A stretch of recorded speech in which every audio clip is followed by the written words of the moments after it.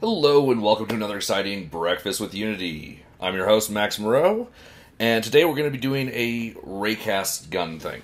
Now I've done this on the main show before, but I was kind of shocked that we didn't do this on Breakfast. And Breakfast has a lot of little tidbits like this, and I try to make things that are either cool or useful for people. And this is definitely falls under the useful category. This is the the raycast gun is the most common uh, gun type in in games, and most games use for for any projectile that appears to be instantaneous, it actually is an instantaneous raycast. And actually, even in some games where it's not instantaneous, they use raycasts. For instance, like the Call of Duty series, they have um, bullet drop in those games, and they have um, they have uh, time to hit, but they actually do that by calculating raycasts for where the position will be, and then providing delay for that.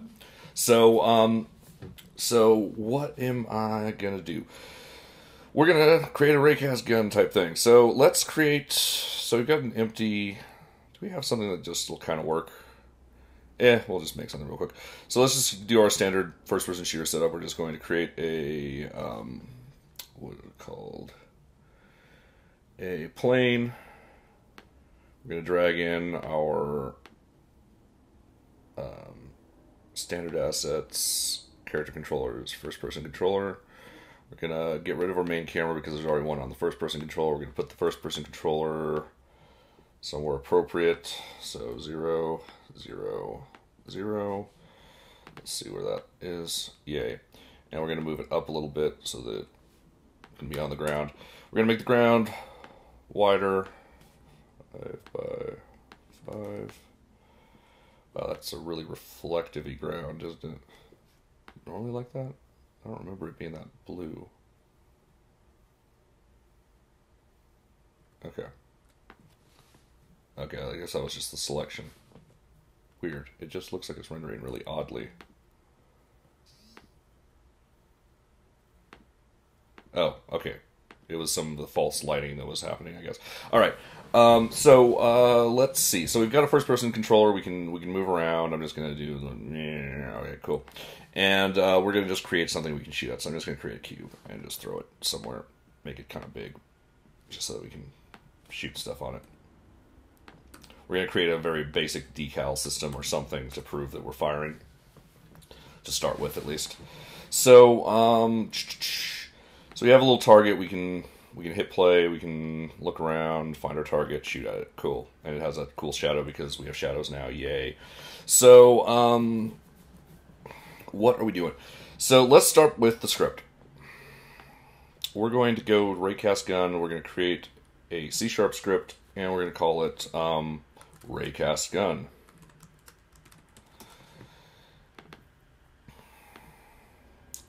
And what we're going to do is we're going to have a we don't really need any parameters. We're just gonna make this thing go for for right now. Um, we're gonna have some later though, so let's go ahead and sketch something. So public float fire delay equals 0.1 f. Um, and we'll just make this a uh, semi-automatic gun for right now. So um, we need a fire delay. Do we need anything else? No, that's probably a Oh yeah, let's put a public float damage equals 1.0f. That seems like a good thing to have. Um, all right, so let's start with that. So um, we probably don't need to start, although I'm just going to leave it up here for right now. In update, what we're going to do is if, oh yeah, we want a button. So public uh, string button name equals fire1. Fire1 is a good default because fire1 is defined by default in um, in the uh, project settings for input. This will always be here, Fire 1. Uh, we've got a few extra ones that aren't always here, like Horizontal 2 is not always here, but yeah, so Fire 1 is. So this is a good default for button. So if input.get button down, button name. So if we get that button, if someone has pressed that button this frame, what we're going to do is uh, we're going to, and actually I'm going to have one more thing here, private bool um, ready to fire equals true. So if the button's down and ready to fire equals equals true. We could actually let's just say ready to fire. I don't think it requires us to actually do the equals equals because it's a boolean. So uh, so if we press the button and we're ready to fire, then what we're going to do is uh, we're going to raycast physics dot raycast um, transform dot position tra um, transform dot forward um, layer mask. We're gonna probably want a layer mask. Let's go ahead and add that public layer ma layer mask layer mask. So we can just pass in layer mask. So we've got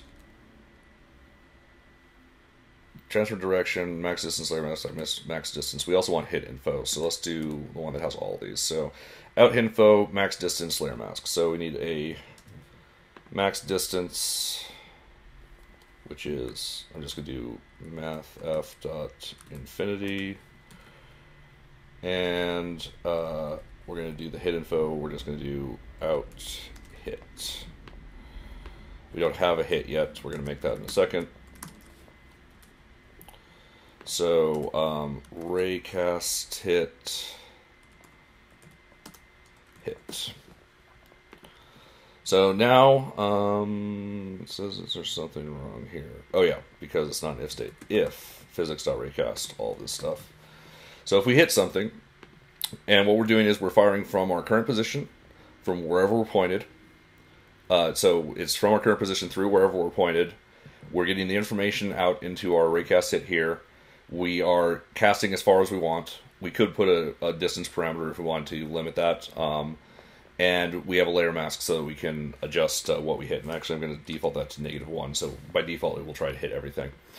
So um, remember, uh, useful defaults means that if someone drags your script, someone who doesn't know anything about your script can be like, "Oh, but raycast gun, I'm going to put this on something," and it will just work. It will just do something by default. So by default, it will allow you to fire every 0.1 seconds. It will do 1.0 damage. It will use the fire button, and it will hit anything in the scene. So, so what are we doing?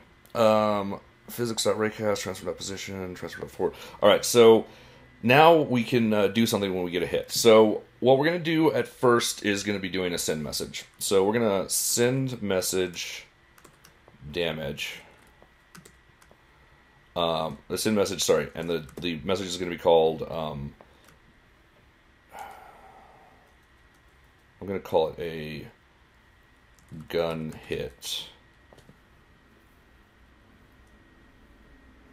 What should we call this function? What, what would the function be? We could just call it damage, but I want to do more than just damage with it. Um,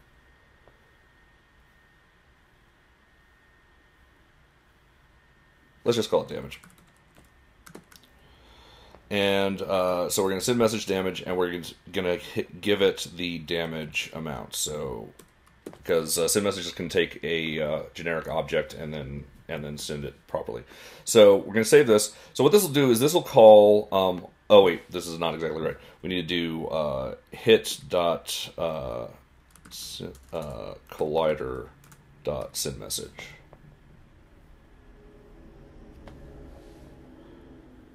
So, um, so what this will do is it'll allow us to receive it on the other end.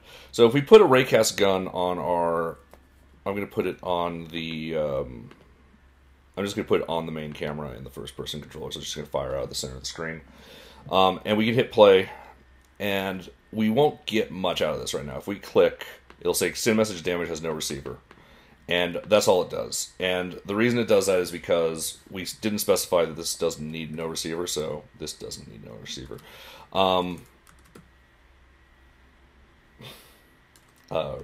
require so don't require receiver. So now that message will go away. But now, now since we fixed that bug, we actually have no feedback whatsoever that this thing's working at all.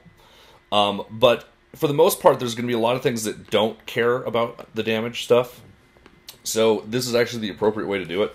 But uh, we need to actually implement something to actually use this. So what I'm going to create is I'm going to create a C-sharp script called um, um, uh, play um, spawn on damage is what I'm going to call it.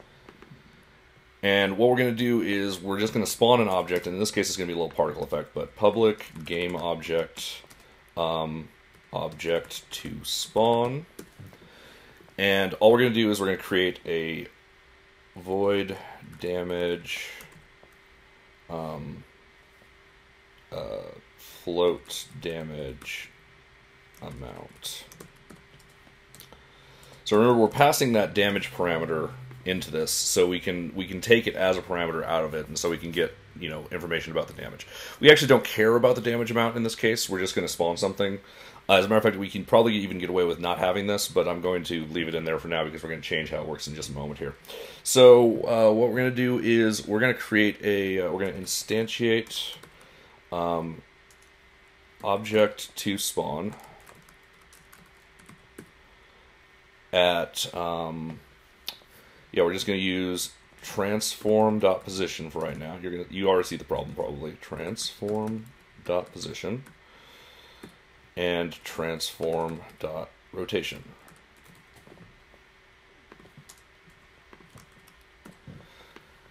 Save. And then all I'm going to do is just create a really basic um, particle effect for this. Particle system, we're just going to make it do kind of a... Uh, we'll just... Yeah, we'll have it still be conic. Um, so rate is, uh, we're just going to get rid of the rate. We're going to give it a one-time burst of like, yeah, 30 particles. We're going to give the start speed, we're going to give it a little bit of randomness. And we're going to make it a lot faster. So we're going to just make it so that it has a start lifetime of 0.5. And we're going to make the start speed between 10 and 20. Let's see how that looks. That's too fast. 5 and 10. And actually, we're going to make the lifetime variable uh, in between two constants 0 and 1. Let's see how that looks. So we got a little kind of burst thing there so that we know something's happening. And uh, let's just go with that for right now. Um, I'm going to go ahead and put this in here. We're going to call this uh, hit particle.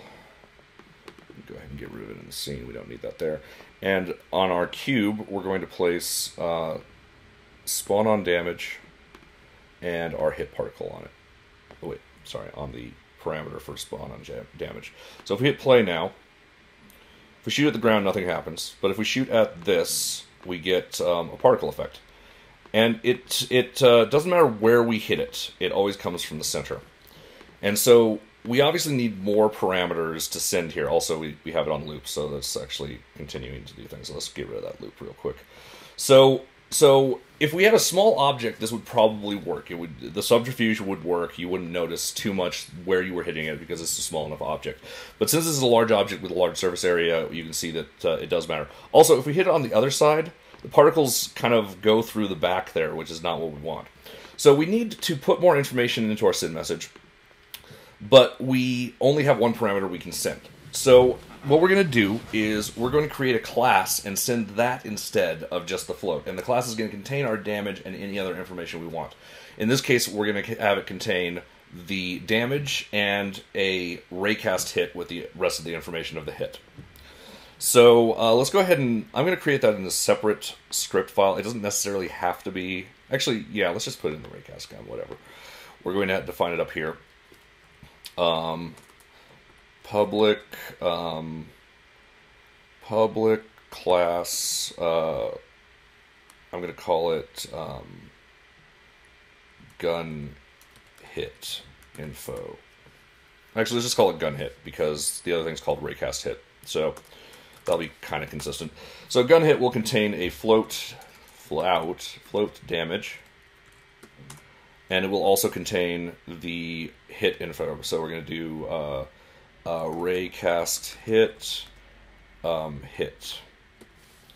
So it'll have the damage and the raycast hit. And actually, I'm going to call it a raycast hit. All right. So now what we're going to do is instead of send message damage, we're going to do uh, we're going to create a new gun hit. So um, gun hit uh, gun hit equals new gun hit. And then what we're going to do is we're going to throw in. We could have, we could have thrown a constructor together. I'm not going to bother with that just right now. We're just going to do it the old-fashioned way. Um, so we have a new gun hit, and uh, we're now going to set gun hit dot damage equals. Oh wait, these need to be public. Public and public.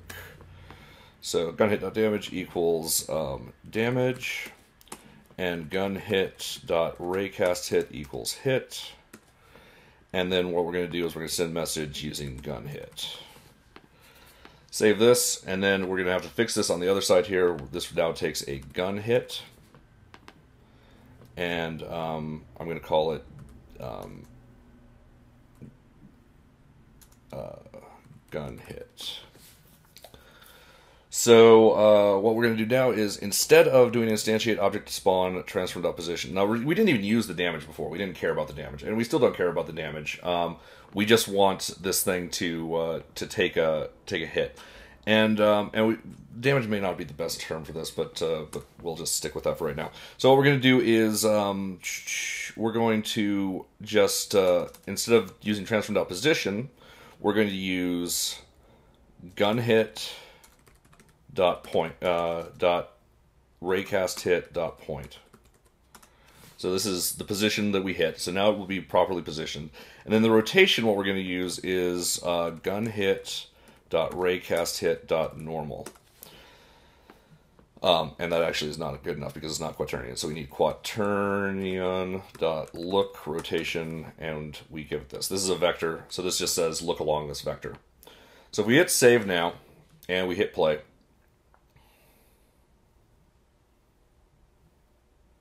if we shoot at this thing, it shoots wherever we're aiming at. I don't really have a reticle, but you can see that it's shooting in the center of the screen. And um, it will now properly reposition and go out from the angle that you want. So this is a really big particle effect. I'm going to make it a little bit smaller. Um, let's go ahead and lower the conic on it and then also make the start size 0.1 and let's see how that looks a little bit. Too small. All right. Um, 0.5. Just tweaking this a little bit.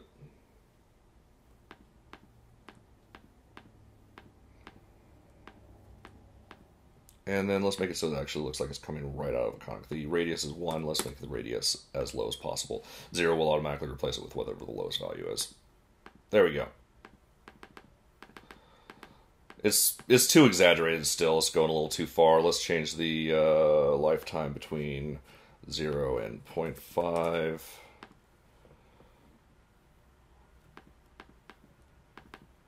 All right, cool. You got a point. You got an idea of what's going on here.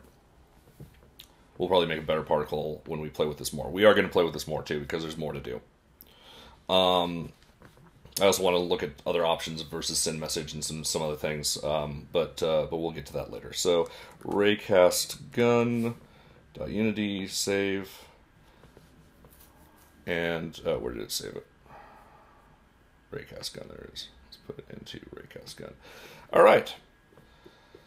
So thank you for watching. If you have any questions, please email me, pushypixels at pushypixels.com. You can also tweet me at Drakfyre, that's D-R-A-K-F-Y-R-E.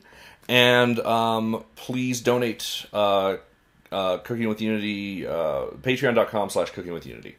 Thank you very much, and you guys have a good one.